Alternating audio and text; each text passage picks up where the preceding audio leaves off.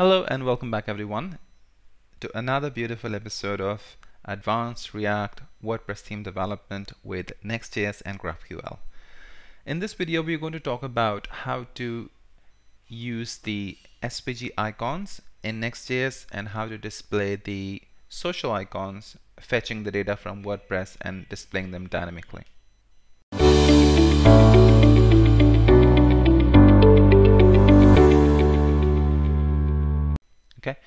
So how do we do that? So I have got some of the icons already available. So I've got the Facebook Instagram Twitter and YouTube. And what I'm going to do is I'll go to my components. Under components I'm going to create a directory called icons. And inside of this I'm going to create a directory called SVGs inside of SVGs I'm going to copy these icons. And I'm going to go ahead and paste it like so now if you notice that it has got some of the information that you probably don't need when we are using these SVGs and we would expect that we should have components for these SVGs. Now we do have a package available that makes our job a lot easier. So if we go to a package called SVGR CLI, you can see that this is a pretty useful package. So what this is going to do is basically take all of the SVG icons from whichever directory you specify as its source directory and then it's going to output them as components with their names. Okay, so let's see that in action. What I'm going to do is I will install this. So I'll go to the terminal. So I'll go to the terminal, I'll say yarn add svgr CLI and I'm going to go ahead and install it. And then once that is installed I'm going to go ahead and add a script. So I'll head over to package.json and over here I'm going to add a script called svg I mean you can name it whatever you want. And then if you go back to the usage you will see that you can put svgr over here then you have to put the options. So I'll go with D which means the output directory. So what will be my output directory? Uh, so my output directory will be source and then components and then icons. So this is where I want to output it. And what will be my input? So next thing you have to put an input directory. So my input directory will be icons and then SVGs right? Because that's where my, all of my SVGs stay. So what this is going to do is just going to take all of these SVGs from this and uh, is going to output them as React components inside of the root of the icons uh, directory. Okay, so let's see that in action. What I'm going to do is I'll say npm run svg because that's the name of the script and I'll hit it and there you go. Perfect. Congratulations. So you can see that it's sourcing it from the components icon SVG Facebook like this one and it just generated a component called Facebook. So you can see that it's already a component and we don't really have to do anything right? So that's pretty that's pretty useful. Uh, you've got the one for Instagram so you can see that it's converting Instagram to and it's outputting it to instagram.js so it's just using the file name and converting them into React components which is pretty cool if you ask me. And you can actually put that as a, as a develop dependency. So in fact I should go ahead and change this to D. First I'm going to uninstall it. So yarn remove. This should actually be the dev dependency and not dependency. Okay. And I'm going to add it now. I'll say add and then do dash d and this is going to ensure that it installs as a dev dependency because this is going to be a dev dependency okay? Perfect. So I'll just run this again make sure it works and npm run svg perfect works great. Awesome. Now we're going to okay now if you check over here it's exporting each one of them as defaults which means that I can use these uh, dynamically. Okay I don't want to go ahead and write all of these icons specifically. So for example if you go to WordPress customize so if you remember I showed you in the previous video you've got these social links. So basically I want to display all of these icons into my footer but I want to fetch them dynamically and I don't want to write them four different times. I want to be able to loop through them right so because in GraphQL we are actually getting the icon name I can actually create a template map. Okay so how do I do that? I go to utils and I create a file called icons map.js I'm going to paste a bit of code over here then I'll explain to you what that means. So what we are what we are doing over here is we are importing all of these components that you see that the SVG CLI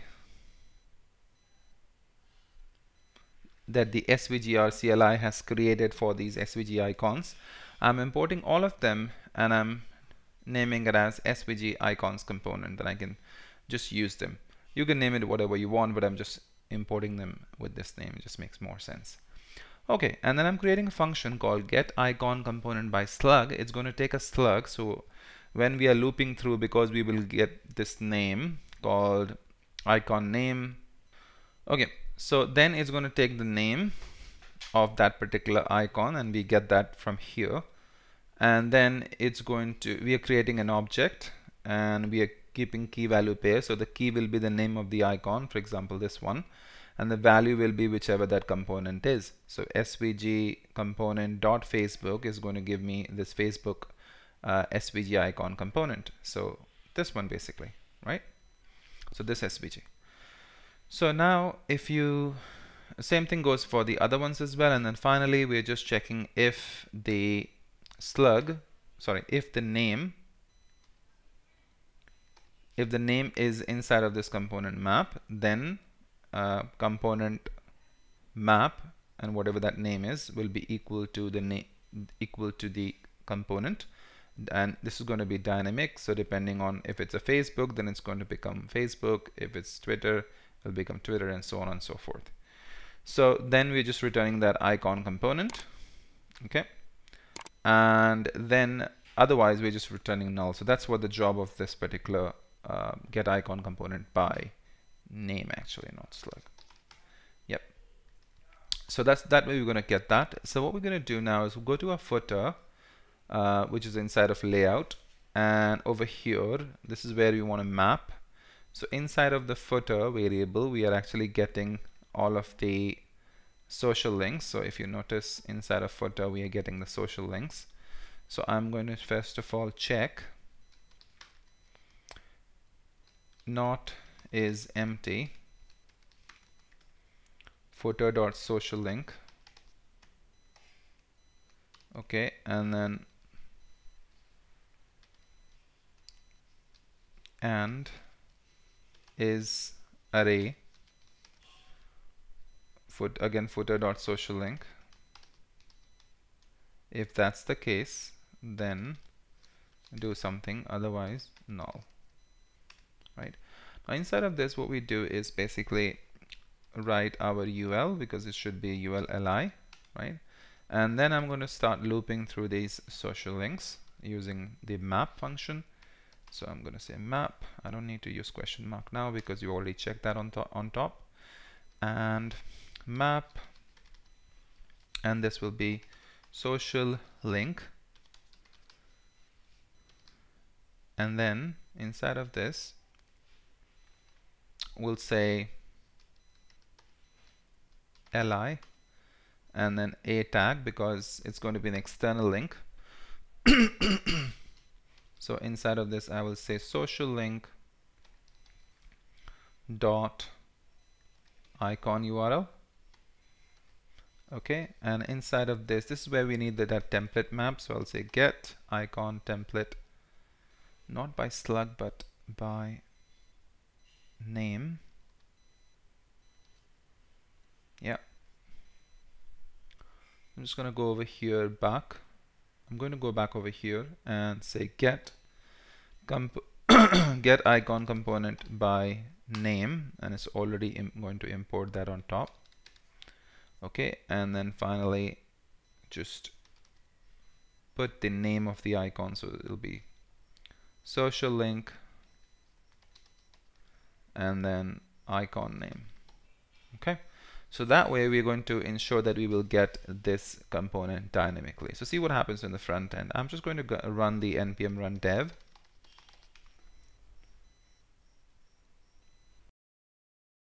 And I'm going to refresh. There you go, congratulations. So You can see that you've got all of these icons, which is perfect. If you do an inspect element, see what happens. So you've got this div. Okay, you need a key also, right? Okay. So I'll say social link key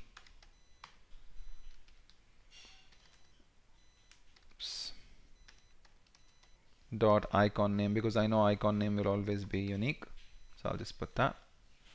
Perfect.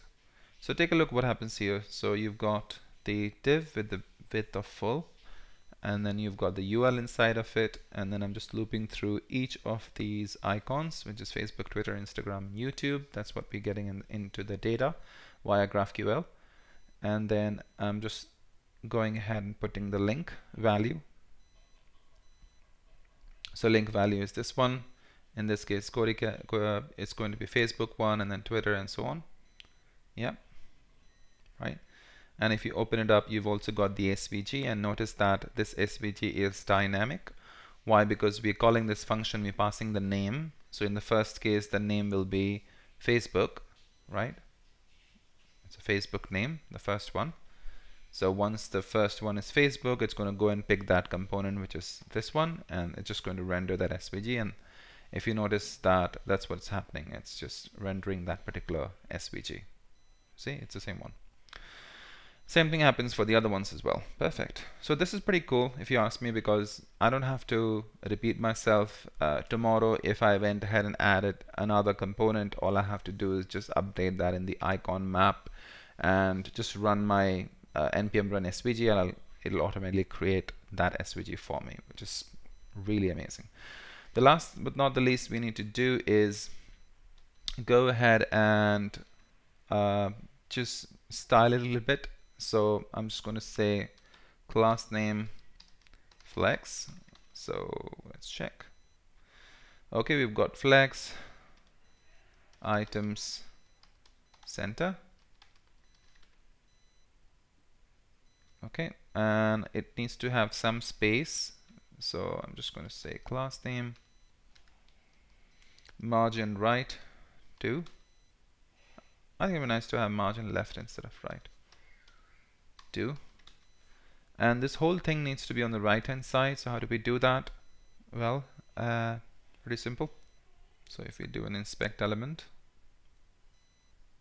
and what, what we'll have to do is just add two classes flex and justify end. These are tailwind classes. Uh, I'm just going to copy that. So now it's on the right hand side which is exactly what we wanted. So I'm going to copy it paste it here. Oops here. And I think 2 is not enough. Should it be 4 let's try that how that look. Yeah. A little bit better. Of course it doesn't look that great uh, because the sizes of these are a little different. But we won't worry about the CSS like I said this project this tutorial is mainly for uh, learning purposes how these things are created. Probably in terms of CSS that's something I, I will do later offline and, and we'll fix that in future. Okay, so that's pretty much it. I hope you did like the video. If you did, please give a thumbs up and do subscribe to my channel if you aren't already. And do give star to my repository like all these beautiful 27 people have. And uh, also follow me on Twitter. My Twitter handle is Imran H. Sayed as well. Okay, perfect. So I'm going to see you in the next video. Take care. Bye-bye.